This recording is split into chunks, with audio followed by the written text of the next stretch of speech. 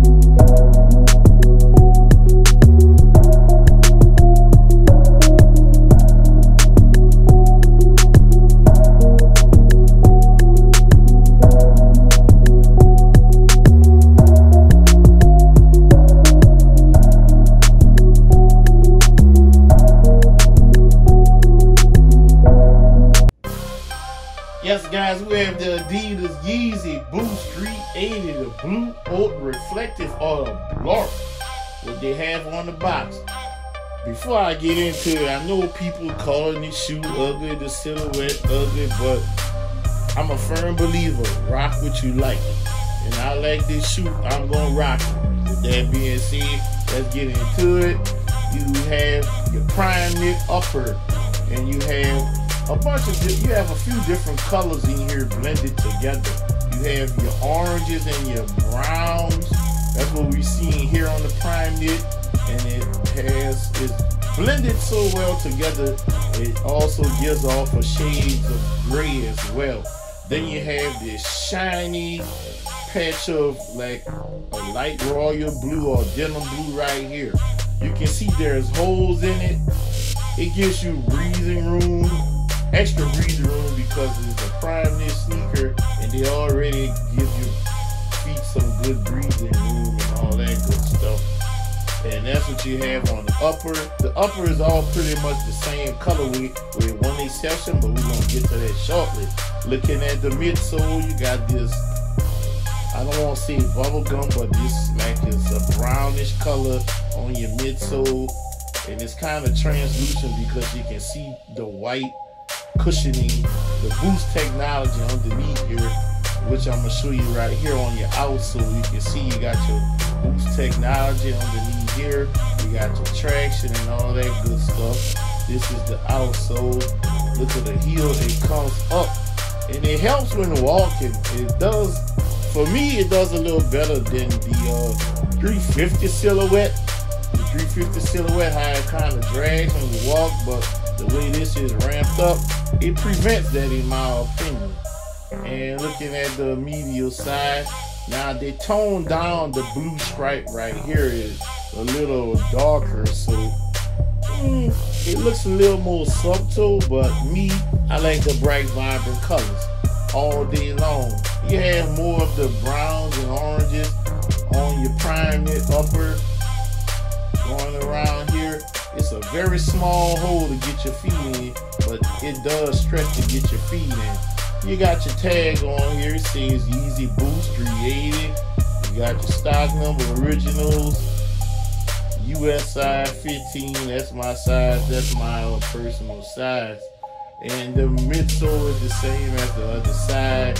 And look at the front of the sneaker. You got more of those oranges and brown colorways mixed in together. Looks gray on parts of the sneaker. You got your little brownish or khaki color laces. These are the only laces they come with. However, these are not the infinity laces. I believe the black onyx are reflective. I think those have the infinity laces. I have those up there. Hold on. Pause. Uh. Yes, guys, the black onyx reflective does have the infinity laces on here. But they did not put the infinity laces on the blue oat reflective. Well, that's all fine and dandy with me. I'm still gonna rock these. Give y'all a look on the inside. You have a blue insert with Yeezy Adidas on here. And the sizing tag, which I already read that off for this hanging tag. Here we go. This is the sizing tag, size 15. And we don't have any production dates on here. Go ahead and take the tissue out this tissue comes in. I mean, let me know what y'all think of this sneaker. I know it's an acquired taste, but I like it. I love it. I'm gonna rock it. Leave that in the comment section what y'all think of it. What y'all think of this silhouette and the 380 uh I forgot the colorway is, but it's like a white and the this midsole part is like a light green. I'm definitely gonna be trying to get those this weekend, but let me know what y'all think in the comment section. And before I go, like I always tell y'all, if you can help someone get a sneaker, help them get that sneaker. Because you never know, it will be your turn to need help getting the sneaker.